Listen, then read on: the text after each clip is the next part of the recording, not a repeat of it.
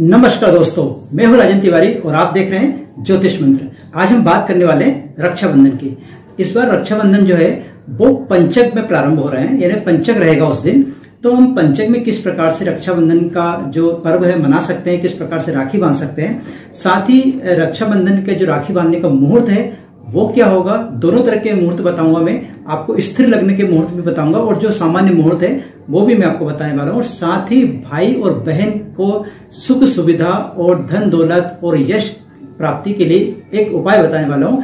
एक भाई के लिए और एक बहन के लिए। भाई बहन के लिए करेंगे और बहन भाई के लिए उपाय करेंगे। ऐसे में दो उपाय आपको बताने वाला हूँ। तो आप इस वीडियो को अंत तक ज़रूर देखिए। तो चलिए शुरू करते हैं।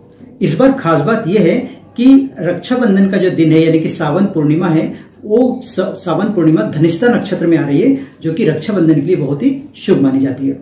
जैसे कि आपको पता है कि रक्षाबंधन के त्योहार में राहु काल और भद्रा का बहुत ही महत्व है।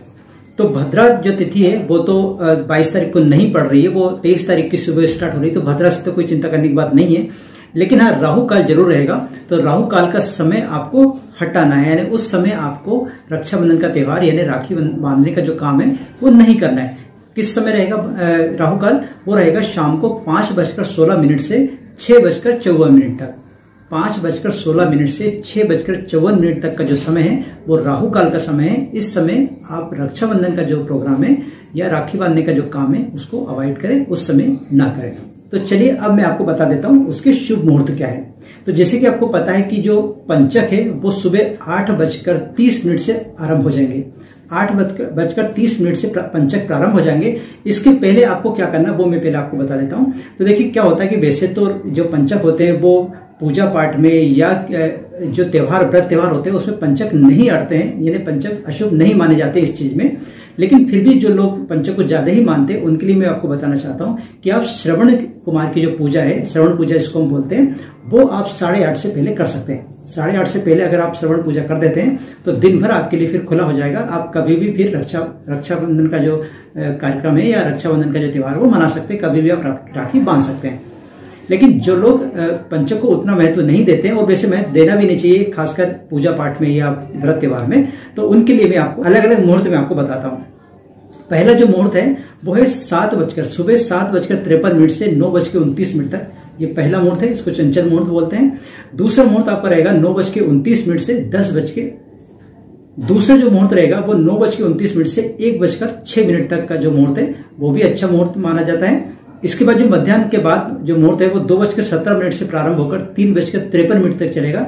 यह भी बहुत ही उत्तम मुहूर्त है। इन मुहूर्त में आप कभी भी राखी बाँध सकते हो। क्या होता है कि कुछ लोग ऐसे होते हैं जो स्थिर लग्न को बहुत महत्व देते हैं। तो मैं आपको स्थिर लग्न के मुहूर्त बता देता हूँ कि किस टाइम में स्थिर लग्न पड़ने वाली है, उस उस समय भी अगर आप राखी बांधते हो तो बहुत ही अच्छा रहता है। स्थिर लग्न को काफ़ी अच्छी लग्न मानी जाती है। तो पहली स्थिर लग्न है श्री लग्न, वो सुबह छह बजकर पंद्रह मिनट से सात बजकर इक्यावन मिनट तक रहेगी। उस समय आप राखी बाँध सकते हो। दूसरा जो मुहूर्त है वो बारह बजे दोपहर बारह बजे से दो बजकर पैंतालीस मिनट तक रहेगा और वो वृश्चिक लग्न है, उसमें उसमें आप ये राखी रक्षाबंधन का काम कर सकते हो। तीसरी जो स्थिर लग्न है, वो कुंभ लग्न है और वो शाम को छह बजकर इकतीस मिनट से सात बजकर उनसठ मिनट तक रहेगी। इस दौरान भी आप राखी बाँध सकते हो। सारी ही लग्न स्थिर लग्न है और ये मुहूर्त से भी अच्छी मानी जाती है। तो आप इस स्थिर लग्न के बीच में आप राखी बाँध सकते हो। एक बात का आप ध्यान रखेंगे कि जब भी भी आप राखी बांधे अपने भाई को तो भाई और बहन दोनों या भाई, एक मंत्र ज़रूर बोले। वो मंत्र क्या है? एन बद्धो बलि राजा दानवेंद्रो महाबला, तेन त्वाम बंधनानी रक्षय माचल माचल। ये मंत्र को अगर बोलते हुए राखी बांधते हैं तो इसका बहुत महत्व होता है। इसलिए इस मंत्र को ज़रूर बोले, जब भी आप राखी बंधवाए या बांधे। ठीक है? अब मैंने आपसे बोला था कि मैं कुछ उपाय आपको बताने वाला हूँ तो मैं उपाय बता देता हूँ। पहला मैं उपाय बता रहा हूँ, बहन के लिए, जो बहन अपने भाई के लिए करेंगे, यानी बहन करेंगी अपने भाई के लिए। करना क्या है उनको? इसके लिए बहन को सुबह, यानी रक्षाबंधन के दिन, सुबह जल्दी उठकर स्नान करके स्वच्छ वस्त्र पहनकर सूर्य को अर्घ देना है। फिर आपको पीपल के वृक्ष में जल, चीनी, जौ और दूध मिलाकर, ये चारों चीज़ मिलाकर पीपल की वृक्ष की जो जड़ होती है, उसको सींचना है। सींचना इन द सेंस उसमें आपको पानी जल डालना है, ठीक है? और साथ ही एक मंत्र भी बोलना है, वो मंत्र क्या, वो मैं बता देता हूँ आपको। मंत्र है, ओम मणि पद में हुम। इस मंत्र को बोलते हुए आपको जल डालना है, और जल डाल के आप घर आके अपने भाई को राखी बांधिए, खाना खिलाइए, कुछ भी करिए, ठीक है? ये बहन के लिए उपाय है, जो भाई के लिए बहन करेगी, ठीक है? अब मैं भाई के लिए एक मंत्र अब मैं भाई के लिए एक उपाय बताता हूँ, जो बहन के लिए करेंगे, ठीक? भाई को करना क्या होगा कि राखी बंधवाने के बाद अपने बाएँ हाथ में कुछ चावल के दाने लेना है, एक पुष्प लेना है, लाल कलर का वो पुष्प होना चाहिए, एक सिक्का लेना है और तीन उसमें लौंग डालनी है। ये सभी चीज़ मिलाकर बहन के सिर से तीन बार उबार कर जैसे अपन किसी की नज़र उतारते हैं, इस पर तीन बार उबार कर उसको घर से बाहर रस्ते में फेंक देना है। ये उपाय भाई को करना है बहन के लिए।